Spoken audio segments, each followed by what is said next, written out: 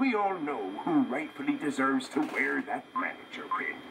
I couldn't agree more, sir. Hooray for SpongeBob!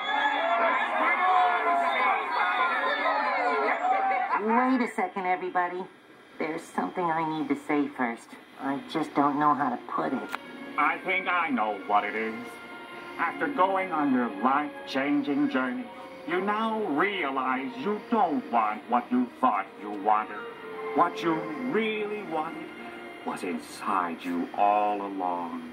Are you crazy? I was just going to tell you that your fly is down. Manager, this is the greatest day of my life!